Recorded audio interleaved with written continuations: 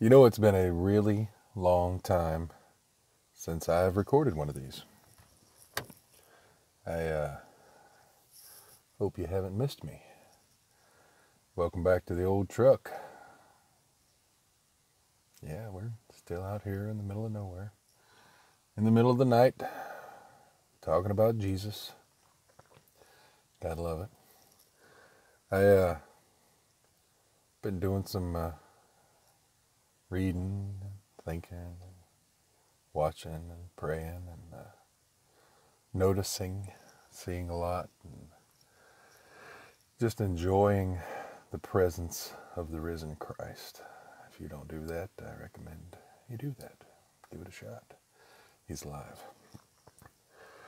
I was listening to uh, a podcast uh, with uh, Rob Bell. Yeah, I know. Oh, a heretic. And uh, uh, Carson Pearson? Carson Pearson? I don't know how you say his name. The guy who uh, was on the Netflix movie uh, Come Sunday. You know, the one that doesn't believe in hell. Yeah, perfectly fine, I guess. Uh, can't be really true to this, the scriptures, but whatever, that's fine. Uh, that's not a uh, defining doctrine that uh, you must or must not believe in. Uh, a lot of people think that, you know, you shall know them by their belief in hell. Oh, wait, no, it's you shall know them by their love, huh? Oh, okay. it's easily confused. You know, people love hell and super excited about their enemies going there. Just burn them all, right? Yeah. well, which leads me to the topic of today's words from an old truck. The message. The message, the message, the message. For the past 1500 years, the message has been uh, in the mainstream camp, whether through universalism, uh, as early as uh, 500 years ago with uh, the Protestantism, uh, and even more closer to home within the past hundred years or so, the uh, fundamentalists, the the new Calvinism and five point Calvinism and Arminianism and the Reformed Universalists and the Reformed Protestants and the 30,000 denominations in uh, the wing of Protestantism. Excuse me, and uh, what, 20,000 in the uh, Universalist wing. The message, the message, the message that's supposed to change the world. It's changed the world. It has. It really has. It's changed the world. The change, unfortunately, has uh, not been for the better. The podcast that I was listening to was uh, Mr. Pearson, or I can't remember his name for some reason off the top of my head. Nevertheless, uh, Carson Pearson. I'll have to look it up. Nevertheless, in the podcast, he was talking about he met Billy Graham during the Oklahoma City bombing. Uh, he got to host Billy Graham for the governor of uh, the state because the uh, the president showed up. You know, uh, everybody and their grandma showed up to view and witness the Oklahoma City destruction. And Billy, Billy Graham and his wife Ruth walked in, and uh, he and his wife met Billy and uh, his wife Ruth. And Billy Graham walks through the door, you know, a mountain of a man. You know, it's like walking into the presence of God Himself. You know, whoa, it's Billy Graham. And this is back when the uh, he wasn't a Unitarian. Uh, he was a uh, you know evangelical Pentecostal preacher, and he's like, man, walking into the presence of holiness itself. And Billy Graham was riddled with Parkinson's at that time, and uh, you know shaking. And he walked in and he hugged everybody. He hugged the wait staff, the uh, the cooks and the, the butlers at the governor's mansion. Hugged everybody.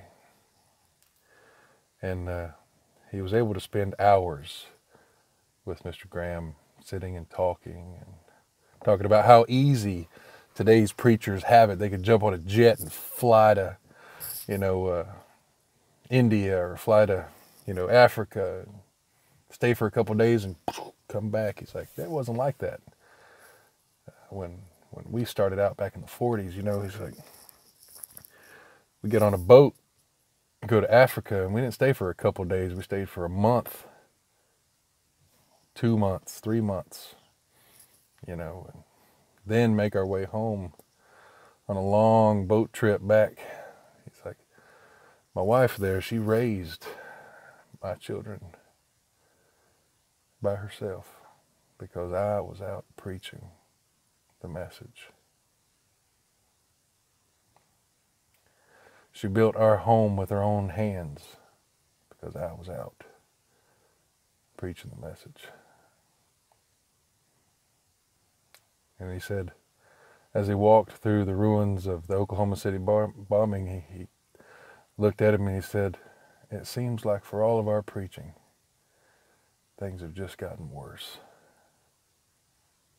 Man, that hit a nerve with me. Billy Graham, a God among men, saying that for all of our hard work, it doesn't seem like we've accomplished anything. as I thought about that, it really settled down into me, and I just thought, you know what? He's not wrong. He's not wrong. And uh, I'll probably piss a few people off with this, but I don't really care. The truth is the truth. You ask anybody, any random non believer or believer, What's the message that uh, you heard? Oh, well, the message is you're a piece of crap. And uh, if you could just straighten up and say these magic words after me, God might like you.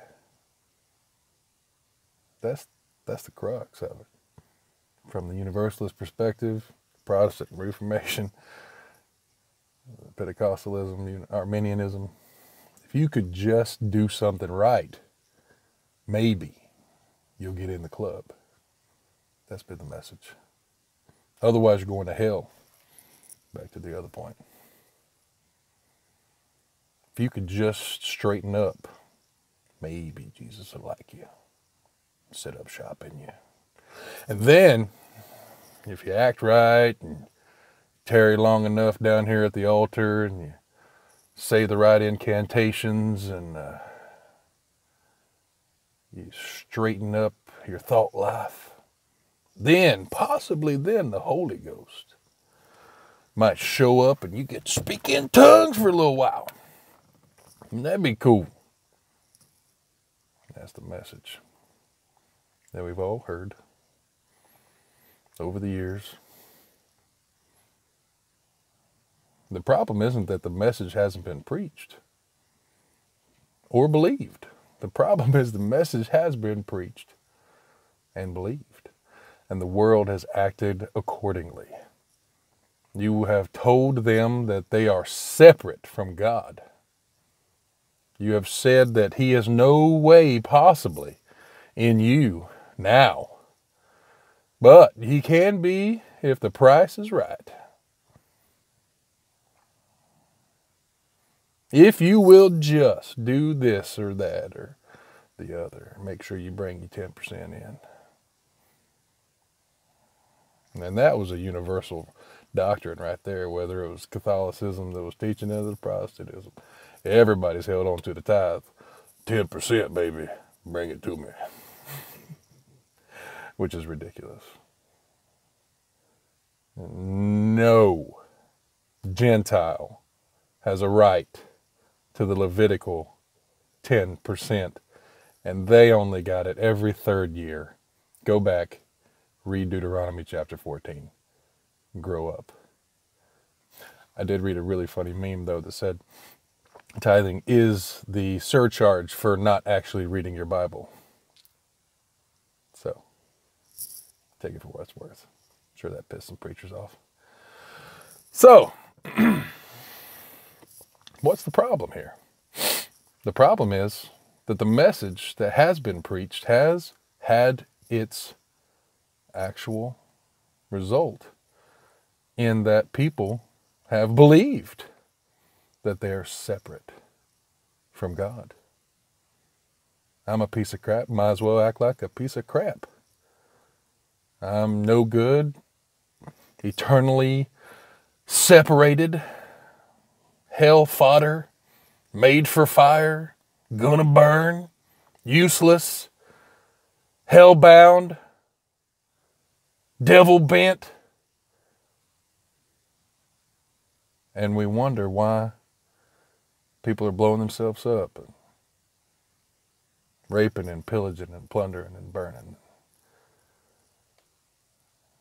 What hope do they have? They they've been told already because they didn't say the incantation that God's nowhere near them. He can't talk to them. He can't speak to them. He can't love them for God's sake. He definitely doesn't love them.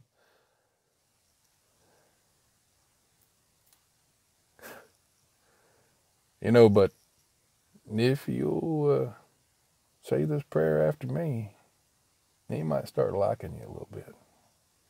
Then Jesus will jump in there and you will have changed God by your actions. You, you, you powerful person, you, you will have changed God into a new creature who will love you because you did something to change God. That's the message that we've preached. And I'm just as guilty. I preached it hard and heavy. I can preach hellfire and brimstone as good as anybody. Unfortunately, I didn't know what I was talking about, and neither do most. They know the doctrine. They've learned the doctrine. But they haven't learned Jesus. And they don't know his Father. And they are terrified to talk about the Spirit. Because, you know, that's the one thing that Jesus said. There can't nobody be forgiven if they tell you something about the Holy Ghost. Don't talk about the Holy Ghost. Don't even mention his name. His name, not her name. I don't care if it's a feminine noun in the Greek. I don't care if it's a feminine noun in the Hebrew. There ain't no woman in the Trinity. So ridiculous. If there's no femininity within the Godhead Trinity, and we are all made in the image of God, where did all these girls come from?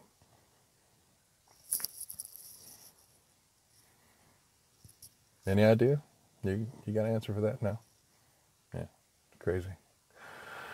The fact of the matter is, we have completely rejected the Trinity and its beauty. We have completely rejected the, the working of salvation that is Jesus Christ Himself. The Trinity is Father, Mother, and Son.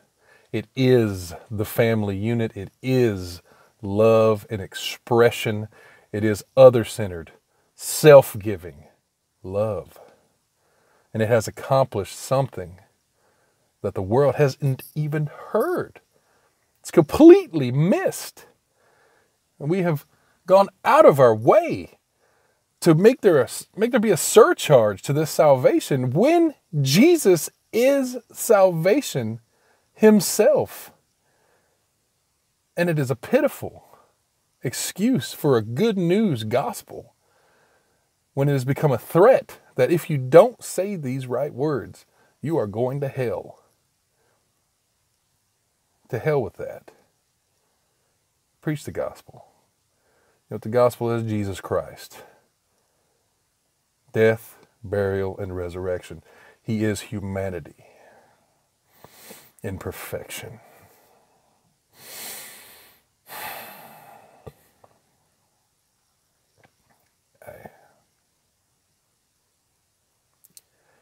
I wish 1500 years ago we'd have gotten a hold of the truth that is the gospel instead of these Gnostic, ridic- ridiculous beliefs. What would the world be like now? It could be like Jesus prayed heaven on earth. But we have missed it. We have told the whole world that it's separated. We have told the whole world that it's evil. And God said, Do not call what I have cleansed unclean. And that is all we've done. And we have screamed, Touch not the unclean thing! And we have missed the point that there is nothing outside of Christ. And He is the clean thing. Everything. This truck, my glasses, you, the whole world is clean in Him. But nobody has told them that. Everybody has been told a lie. And it's your job, and it's my job to present the truth. And his name is Jesus Christ. And he has done the work of the Father. He has accomplished exactly what the Father sent him to do.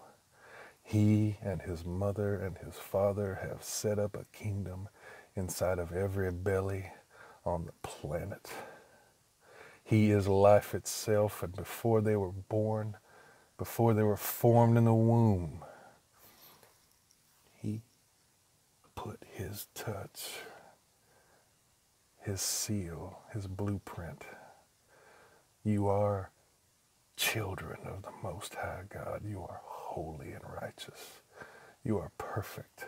You have been redeemed. You are deemed holy, perfect, good.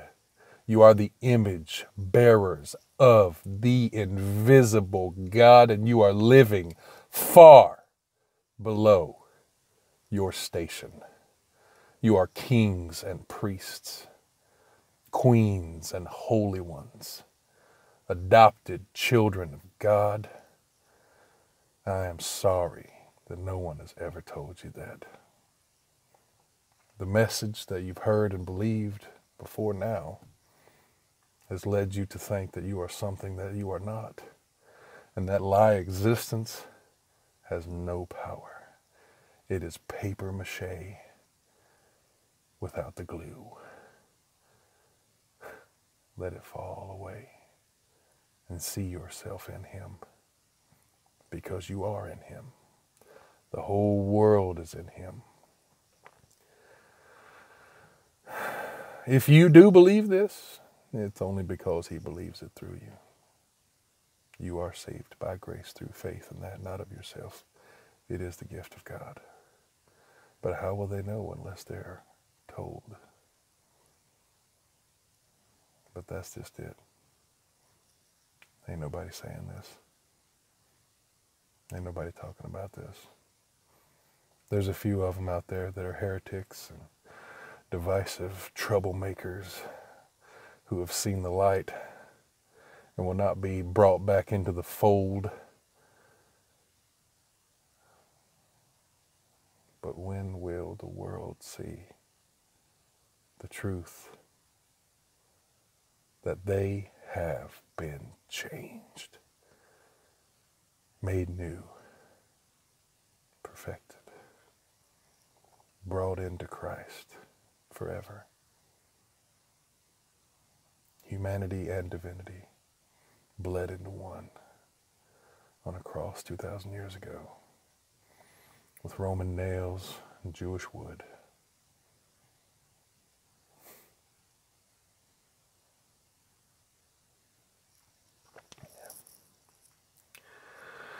Sorry for getting all preachy out here in the truck.